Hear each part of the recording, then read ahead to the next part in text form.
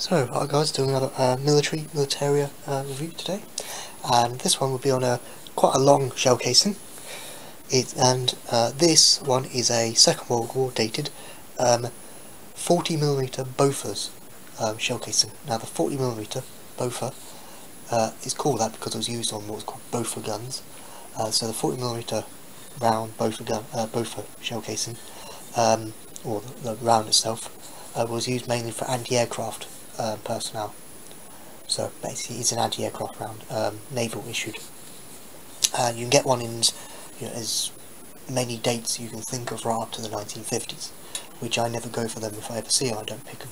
Uh, so it's like this one, if you look on the back, you probably might not be able to see it, but it says um, June, July, July 1944 dated, um, and it is a 40mm Mark II and it's got the little Royal Navy stamp just there. You might be able to see it just where my thumb is. Just there. Um, yeah. Uh, lot number is number 1002. So yeah, nice. It's a um, June, July, or July uh, 1944 dated um, of Bofors.